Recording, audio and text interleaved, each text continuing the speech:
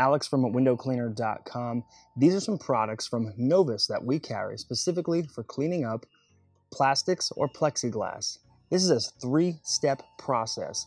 The red bottle is number three. It's meant to strip that surface down, get rid of the heavy scratches. It's going to haze up that surface, whether it's plexiglass or fiberglass or plastic. You can use it on a whole bunch of surfaces. Number three is going to take out those heavy scratches, really haze it up. Number two is going to clean that up completely, bring it to a nice fine polish. Number one is just a spray-on surface cleaner. It's going to remove any dirt and dust left on the surface, and it's going to help break that kind of static bond that makes dust cling to plastic or plexiglass. Whether you need to restore an old piece of plexiglass on, say, a storm door or a windshield on a motorcycle, this product can take care of those heavy scratches, bring that hazing back to normal, and make it look like brand new.